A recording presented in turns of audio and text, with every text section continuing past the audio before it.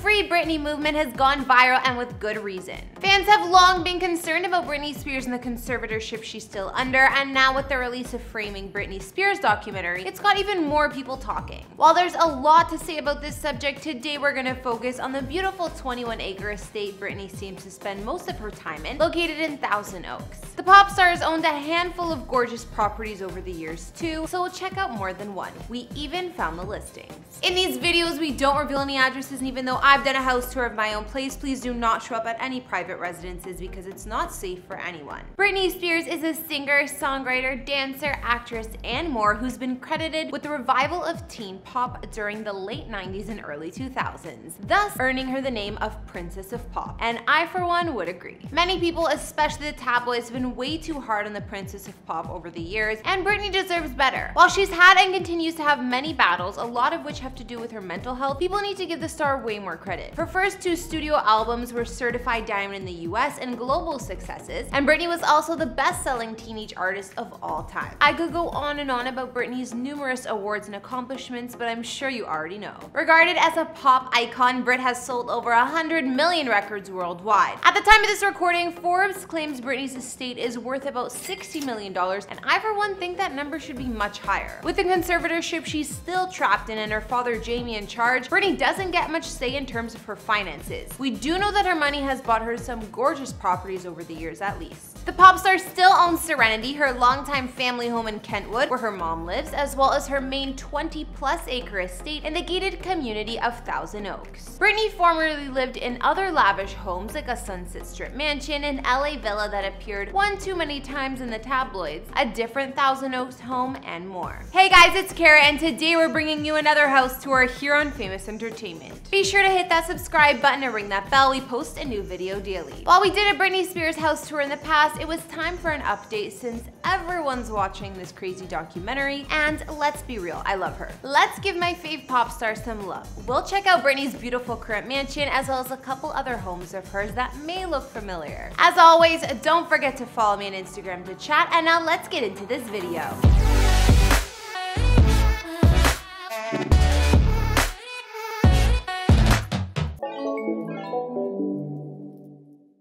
The release of Framing Britney Spears provoked a ton of social media commentary and the like about her father Jamie Spears and the singer's long-running conservatorship. Coincidentally, only three days after the documentary premiered, a Beverly Hills mansion known for being the setting of Britney's 2007 breakdown sold yet again, this time for over $6 million. This estate is located in the Summit, an exclusive guard-gated community high in the mountains above Beverly Hills, and the villa-style mansion boasts about 7,500 square feet of space. The Princess of Pop bought the six-bed, 6.5 bath residence in January 2007, paying $6.75 million and moving in right away. And only one month later was the night that Britney shaved her head. Aside from that highly publicized night at the salon, other strange events followed, like nights of wild partying with Paris Hilton and Lindsay Lohan, as well as the two-week psychiatric hold that led to the 2008 conservatorship. After only two months of Britney's move-in, the home went back on the market, and by 2009, the star had moved out to quieter areas like Hidden Hills and Calabasas. Despite years on the market, the long vacant mansion didn't sell until 2012 and the home has since been flipped and renovated. Listing materials advertised the two-story abode was a former celebrity Mediterranean villa, so it was no surprise, and the home was set behind hedges and trees offering plenty of privacy. Moving inside, the ornate front door opens to the foyer with soaring ceilings and crystal chandelier, while beige stone floors take you to the double height living room.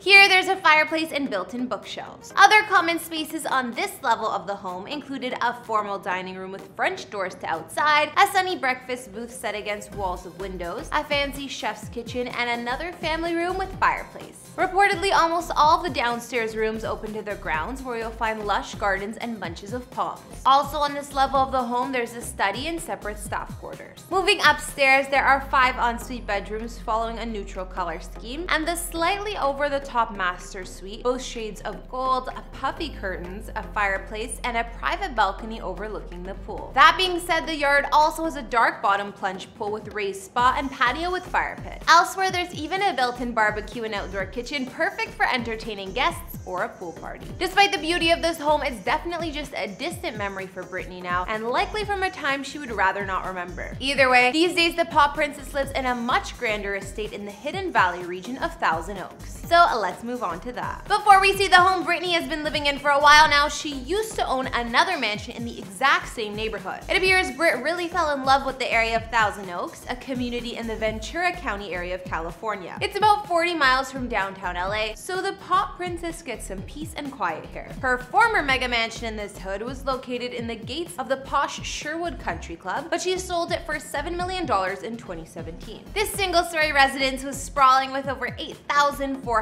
square feet of living space and full of luxurious details built to resemble a classic Spanish hacienda. The home had five beds, five baths, and two half baths, and Britney purchased it back in 2012 with all the money she was making from her successful Vegas residency show. Since we're only taking a quick peek at this house, there are features like a ballroom-sized entryway leading to a huge living room with soaring ceilings, elegant fireplace, and black marble wet bar. There was even another great room with huge disappearing glass sliders and a dining area which opened up to the all-white double island kitchen. While Britney enjoyed this mansion for a few years and had access to amenities like a games room, two home offices, and a gorgeous swimming pool, she let go of this mansion to move on to her current one. Lucky for Britney, she didn't have to move too far. In 2015, it was reported that Miss Spears shelled out $7.4 million for her current Thousand Oaks mansion, so she already had it ready to go when she sold the other property. Situated on nearly 21 acres of land, Britney has more park-like grounds to roam on than you could imagine. The estate is perched on top of a hill in a gated enclave with a mega villa-style mansion spanning over 13,200 square feet centering the property. Everything about Britney's home is grand with a marble floored entryway stepping directly down to her lobby-sized great room with a ton of windows, 35 foot high ceilings, and a huge fireplace. This might just be my favorite room of the home and it's hard to miss since she's featured it on her Instagram time and time again. This sprawling entryway features a grand staircase which will lead you to an open concept second floor area that overlooks that great room. Britney also loves to dance in her spacious foyer by the looks of it. If you don't feel like using the stairs, her mansion also boasts an elevator. Some spaces to explore include five bedrooms, 7.5 baths, an oak paneled library, and a huge media room or games room. Additional common spaces include lavish living and dining rooms and a center island kitchen with all the features you could imagine, as well as another more casual dining area with bay windows and a fireplace.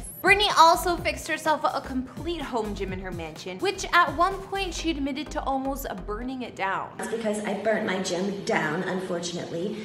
Um, I had two candles and yeah, one thing led to another and I burned it down. The ensuite guest or family rooms are joined upstairs by Britney's private and massive master suite that comes with features like a private terrace, two custom walk-in closets, and two luxury bathrooms, one with a jetted tub and one with a steam shower. Outside there's a long list of amenities like 1200 square feet of patio space, an infinity pool and spa that Britney loves to take advantage of, an orchard, tennis court, and small golf course. If all of that isn't good enough, there's a detached pool house with full kitchen, bathroom, and wine cellar that holds up to 3,500 bottles. I'm out of breath listing all the features of Britney's mega mansion. It's more like a village. So I think I'm gonna wrap up this house tour here, but what did you guys think of where Britney Spears calls home? Fit for a queen or for a princess of pop? I think so. While it's concerning that the star spends so much time away from the public eye and under what seems to be a strict conservatorship, I mean, at least Britney has a beautiful sanctuary to call home until she gets her freedom back. Her massive estate is a peaceful setting with park-like grounds and valley and mountain views from all over. As a huge Britney fan myself, I hope that one of these days she's able to speak up and live her life by her own means again. Those days of living in that 9021 villa are long behind her now. I mean, it was over a decade ago. After checking out a few of Britney's properties, including her current one, which was your fave? I think all of them are gorgeous, but my fave is her current spot. It has every amenity imaginable and then some. Be sure to let me know down in the comments. Thanks for tuning in. Don't forget to follow me on Instagram and I will see you all in the next video. Bye!